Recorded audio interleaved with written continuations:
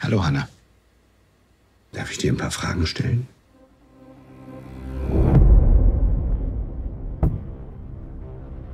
Hanna?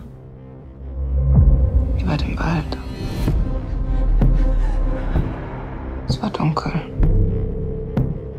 Versuch mal, dich zu erinnern. Du und deine Mutter, ihr seid für irgendwas weggelaufen. Wie heißt deine Mama? Lena,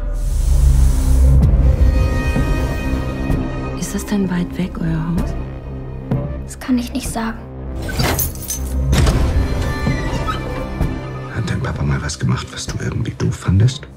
Nein, Oder was deine Mama doof fand? sie wollte aus Versehen Papa mitbringen.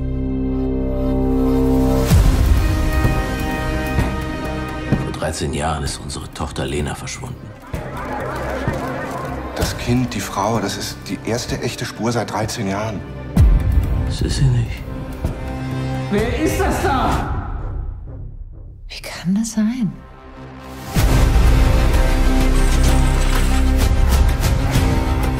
Wer kann noch in dem Haus sein? Glauben Sie dem Mädchen?